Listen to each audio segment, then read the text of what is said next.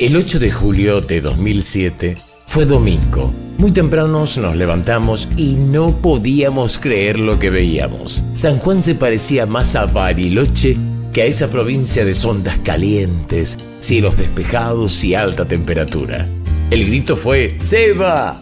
refiriéndome a mi hijo, Prepara la cámara, nos vamos a filmar. Los diarios dan cuenta de aquella histórica nevada en San Juan, que incluyó no solo la capital, sino también muchos departamentos. Hoy buscando en nuestros archivos la encontramos y gustosos lo compartimos con ustedes en YouTube. No olviden de suscribirse a nuestro canal activando la campanita para que el sistema le avise cada vez que subimos un video. Y si les gustó, le dan un like o un me gusta. Comencemos a recorrer San Juan Nevado. Gracias por vernos.